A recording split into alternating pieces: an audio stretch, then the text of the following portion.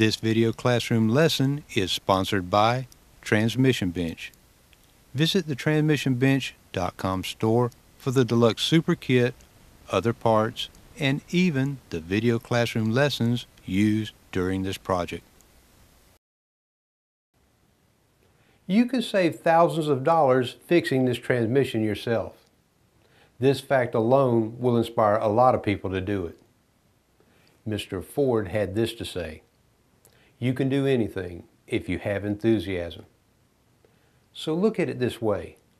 It will cost, on average, $4,000 to have a professional thoroughly rebuild an E4OD 4R100. You can do it yourself for about one-fourth of that and do a better job. Mr. Ford also said, most people spend more time and energy going around problems than in trying to solve them. I think a lot of people spend too much money having someone else tackle a problem they could take on themselves. Transmission repair is not for everyone, but if you're still with me at this point, it is for you. It's great to have you back in class. This is E4OD 4R100 class, lesson 4. In the last two lessons, we disassembled the valve body area. In this lesson, we'll begin the disassembly of the drivetrain. Removing the parts from the case will be a lot easier and safer if the case is not laying on its side. We need to reposition the transmission upright on end, but before we do, let me explain how you can make a fixture to support it. This is the stand I mentioned in lesson one. You can make it from two 8-foot long 2x4s and a few 3-inch wood screws in just a few minutes. Here are the dimensions. It is 19 and a half inches tall which will put the case at a comfortable work height for most people. The sides are 15 inches by 15 inches.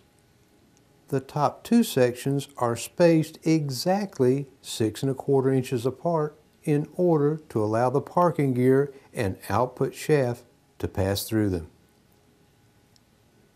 You'll need to cut the 2x4s into three different lengths. The four tall upright ones are 18 inches long. You'll need four 12-inch pieces for the short sections of the sides.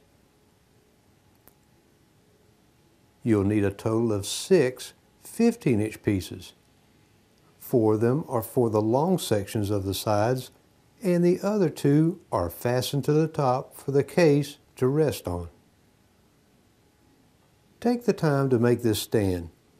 As I said before, it will only take a few minutes to assemble it and you'll be rewarded with a much more comfortable work position.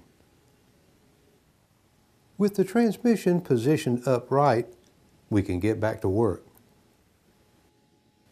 Notice how the stand allows access to the output shaft.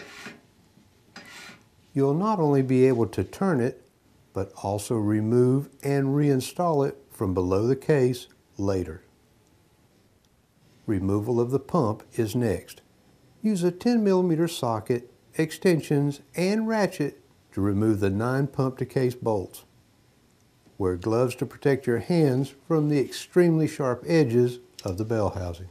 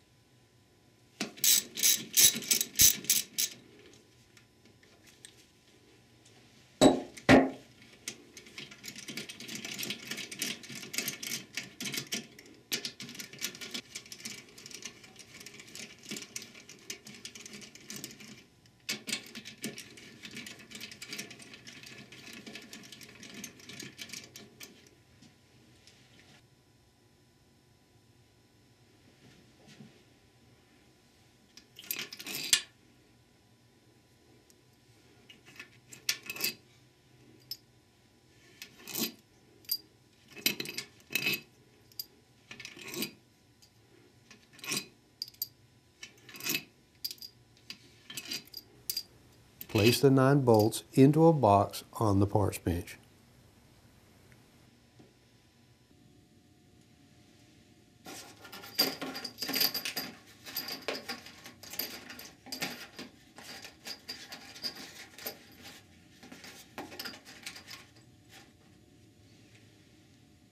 Professionals use a device like this one to remove the pump from the case. It's called a pump puller. I don't expect you to have access to one, but I'll show you how it works and then we'll discuss an easy to make alternative tool. First, it's placed over the stator support like so. Then a half inch wrench is used to tighten two bolts which will clamp a collar to the support splines.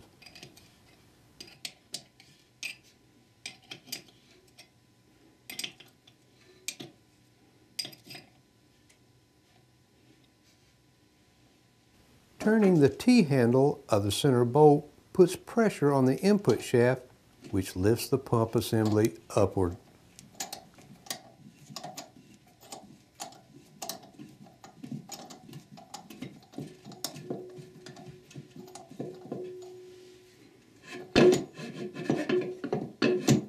This tool, while nice to have, costs almost $300. Now let me show you a low-cost alternative. This is the homemade tool I mentioned in Lesson 1. It's actually a dual-purpose tool for not only removing pumps, but also for removing a piston housing located deeper within the case. Let me show you how it works and then I'll give you the dimensions and materials list so you can make one yourself. It works just like the professional tool, but attaches to the pump differently. Look closely into the pump bolt holes here and here. These two holes are uniquely different from the other seven. They have been tapped to accept SAE 3 8 inch by 16 threads per inch rods or bolts. To attach the tool to the pump, install 12 inch long sections of 3 8 inch by 16 threaded rod into both holes. I made mine from a 24 inch long piece I bought from a hardware store and cut in half with a hacksaw. 8 to 10 turns is plenty. Insert the rods through the holes on the ends of the main part of the tool. Slide the puller down until the center part rests onto the input shaft.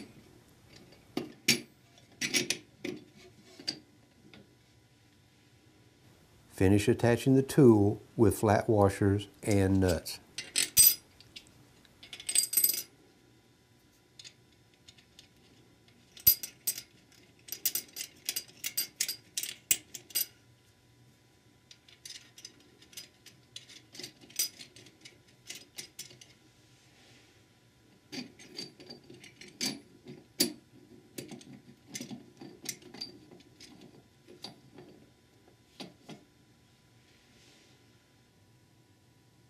Use a half inch opening wrench to prevent this nut from turning.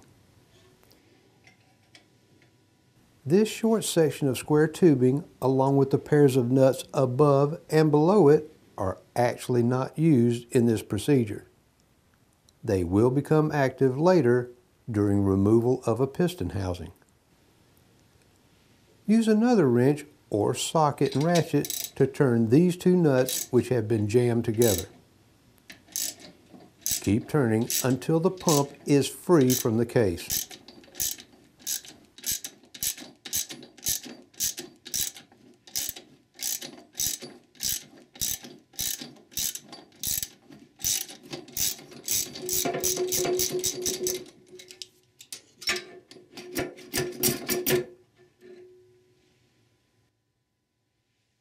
Back out the rods to remove the tool.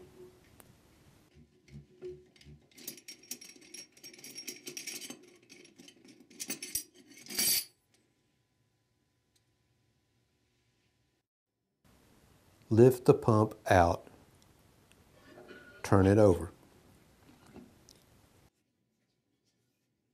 There should be a thin two-tab plastic thrust washer against the pump here.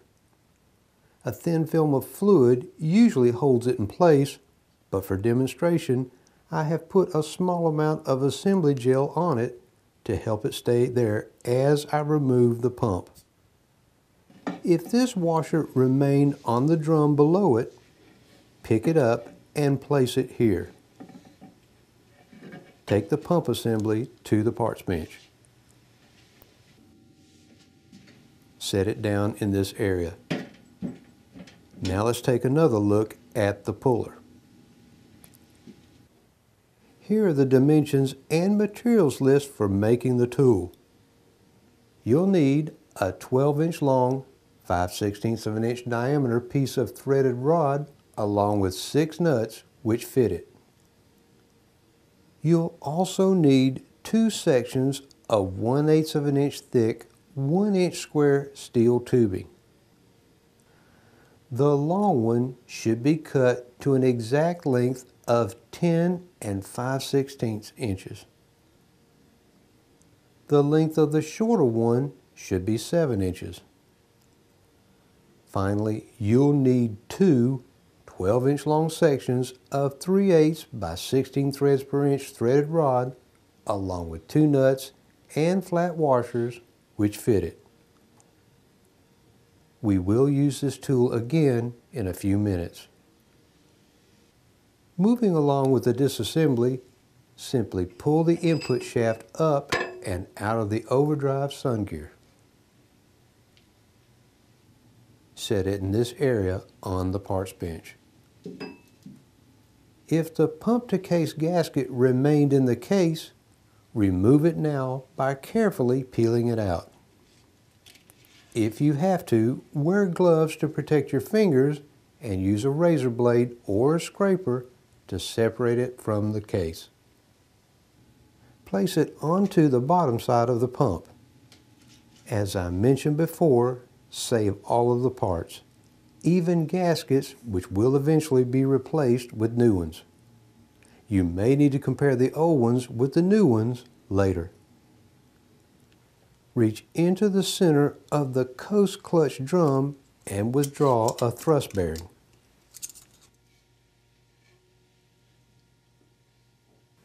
Notice the bearing race which goes against the pump is wider than the race which rests against the coast clutch and sun gear assembly below it. Take it to the other bench. Again, this wider race side of the bearing should always go against this flat surface of the pump set it onto the parts bench in this area with the wider side downward. I will point out how to correctly install this bearing later during reassembly. The coast clutch drum and sun gear assembly is removed next. Note that if you are working on a 1989 through early 1998 E4OD model, the drum will be a steel type casting which will look considerably different than this later type stamped steel version used in the 4R100. Use both hands to lift it out.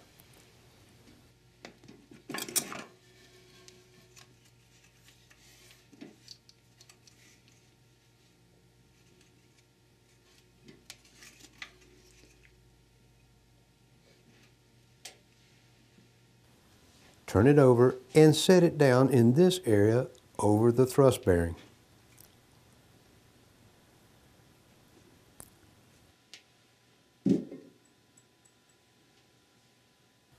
This very thick end plate, along with two friction plates and two thin steel plates below it, make up a multiple disc clutch assembly called the overdrive clutch pack. Use a medium-sized screwdriver to remove a large snap ring which retains it.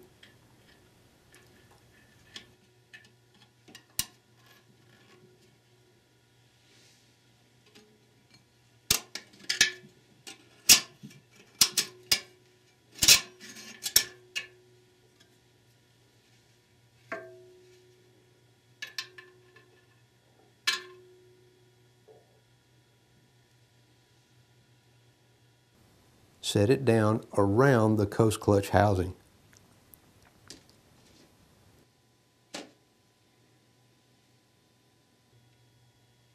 Lift out the thick end plate and the thinner friction and steel plates. Note that our 4R100 demo model has 32 tooth overdrive friction plates. If you are working on an earlier 1989 through early 1998 E4OD model, the friction plates will have 64 smaller teeth. Place these parts over the coast clutch drum in the same order as removed. The side of the thick end plate with a circular divot goes down against the snap ring.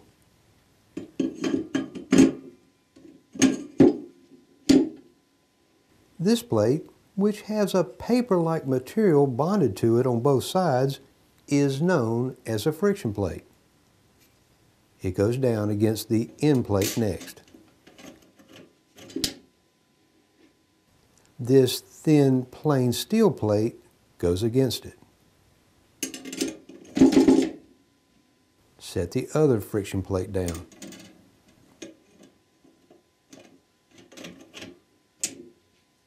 Set the last steel plate onto it.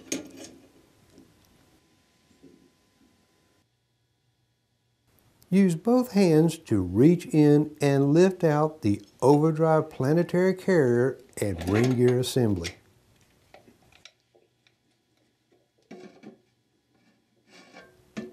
There's a thrust bearing between this hub and the center support.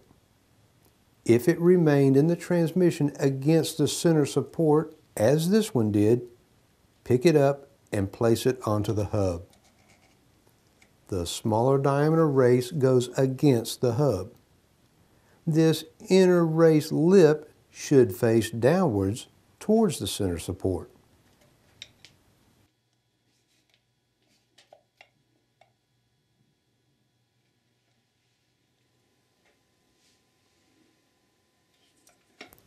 Set this assembly like so onto the coast clutch assembly.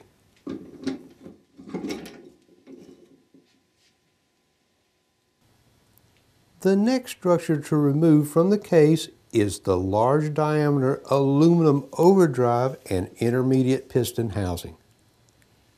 There is a circular multi-fingered Belleville type return spring between this housing and the center support below it which exerts considerable pressure against it.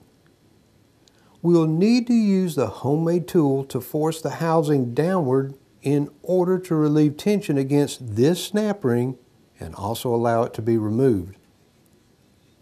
Before we move forward, note how this snap ring, which fastens the overdrive piston return spring to the housing, is installed into a groove here.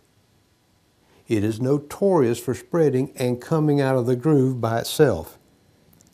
In my experience, I see this problem on 75% of the transmissions I work on. We'll discuss a permanent fix for this later, but for now, leave the snap ring as is regardless of whether or not it is still in its groove.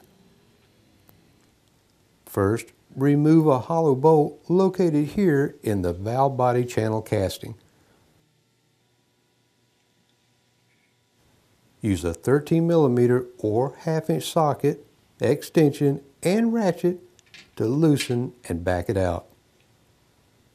This bolt not only seals the housing against the case, but also functions as the hydraulic feed passage for the overdrive piston.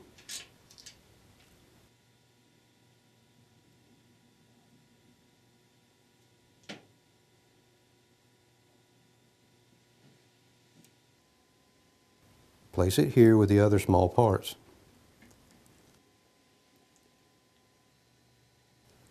Lower the homemade tool into the case. Position the lower section of 1 inch tubing so that it evenly straddles the opening in the housing. Get two of the long pump to case bolts from the parts bench. Install them through the top tubing section and into these two pump bolt holes about 10 turns.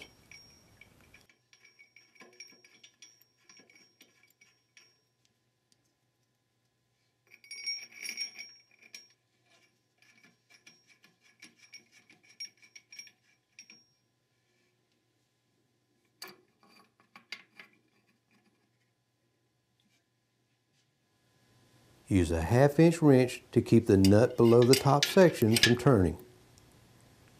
Compress the housing down just enough to relieve the pressure on this large diameter snap ring.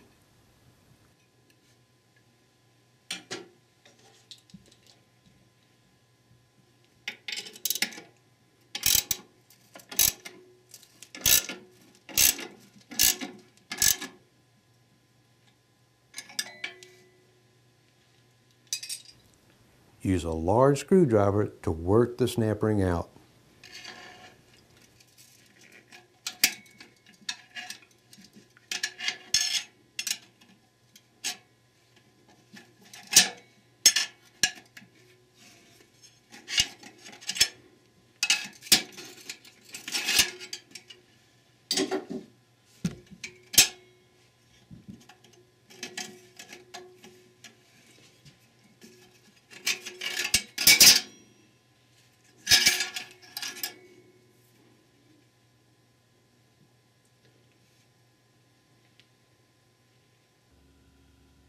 Set it onto the bench in this area. Again, hold the nut with a wrench and turn the threaded rod in the counterclockwise direction in order to allow the housing to move upward, relieving the spring pressure.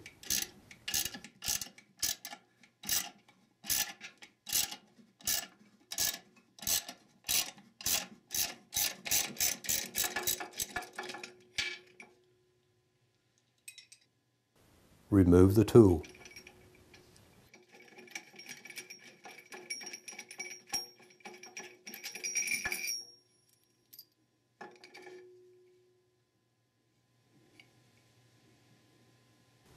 Replace the two pump bolts into the box.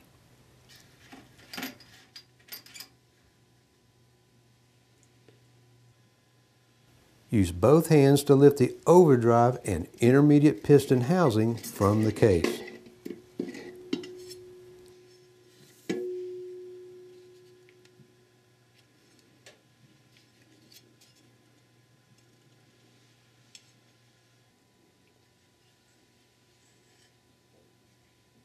Even if the snap ring and return spring from the overdrive piston have come loose, Turn the entire assembly over and set it like so onto the large snap ring.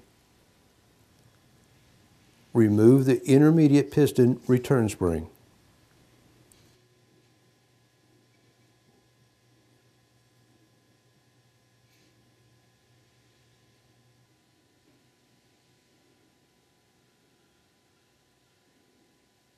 Turn it over and set it onto the housing assembly as removed. This structure is known as the center support. It is fastened into place by two hollow bolts in the channel casting area. Use a 13 millimeter or half inch socket, extension, and ratchet to remove them.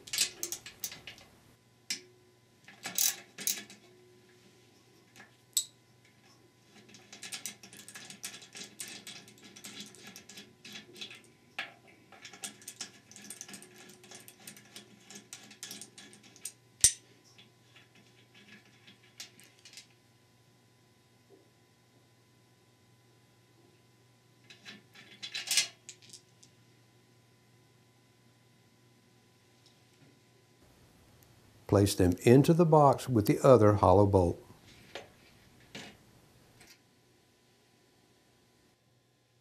Wear gloves and use both hands to grasp the center part of the support and pull upward very sharply.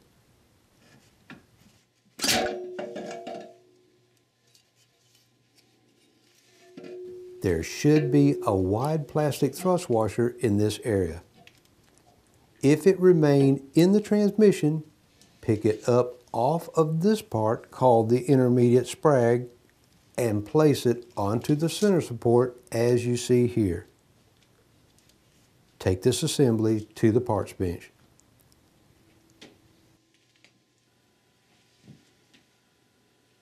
Turn it over and set it here onto the piston housing as removed.